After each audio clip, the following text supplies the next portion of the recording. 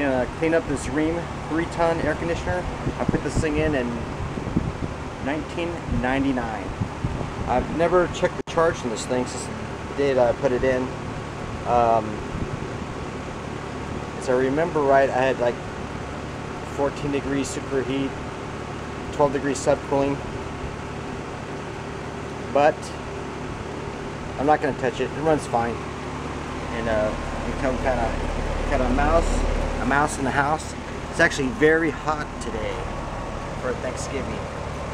As you can see right here, it is dry out. No condensation on the suction line.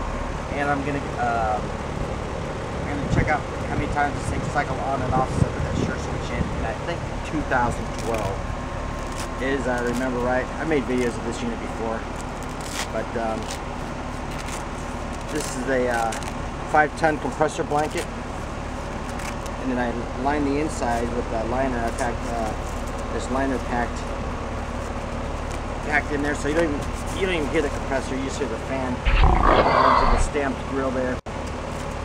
New design with the barbecue grill. It doesn't do that, do that anymore. But I'm gonna clean this thing up. Take the top out, top off.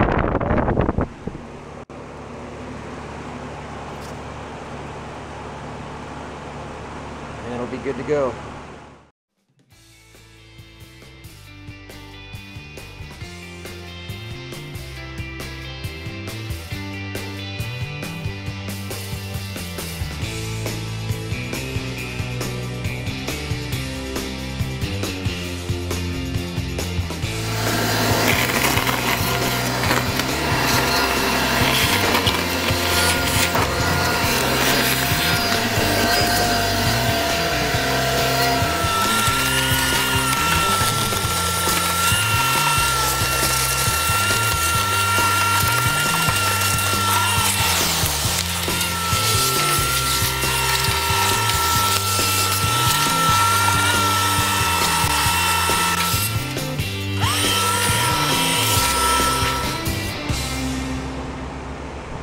It's all cleaned up. I'm gonna check how many times this has come on since 2000, I believe 12.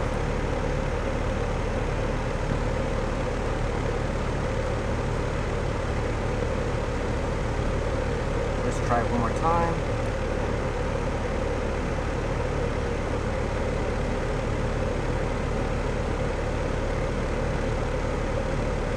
Anybody lets me know, put it in the comments, but I'll have to look that up. I don't know off the top of my head. But that's how many times it's ran since I installed the sure switch. And this thermostat is set for 78 degrees. It does not get heavy use.